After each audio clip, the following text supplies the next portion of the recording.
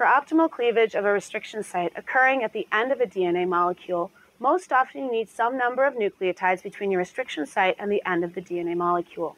For example, if you're designing a primer containing a restriction site, we recommend, as a rule of thumb, adding six nucleotides between the recognition site and the 5' end of the primer. This provides plenty of DNA for the enzyme to bind, allowing for efficient cleavage. Make sure when adding those six bases that they're not a palindromic sequence and that they do not form primer dimers. We have experimentally tested virtually all of the restriction enzymes commercially available from NEB to determine the minimum number of nucleotides required for optimal cutting at the end of the DNA molecule. For additional information, please see the cleavage close to the ends of a DNA fragment chart available on the NEB website.